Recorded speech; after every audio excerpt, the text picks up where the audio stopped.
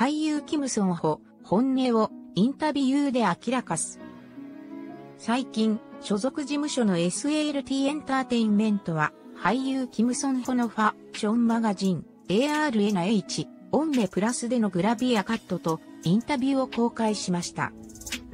公開された写しンの中で、キムソンホは様々な自然の背景に身を置き、神秘的な雰囲気を表わせています。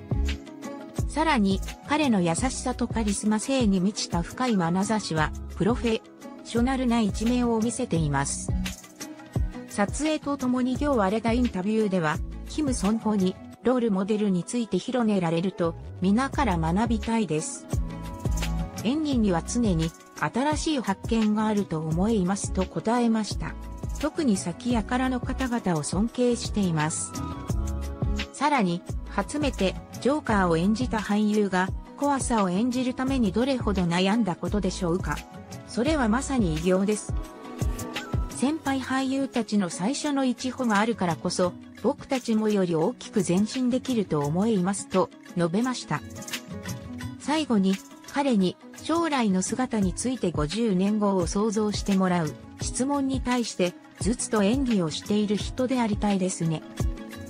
演技さえできればどのような姿でも幸せだと思います。一緒にいたい人になりたいですと語りました。人間としてはただ面白い人。キム・ソンホの多彩な姿を捉えたグラビアカット及びインタビューは ARNH オンメプラスの7月号でご覧いただけます。最近彼は映画飛行士でスクリーンデビューを果たしました。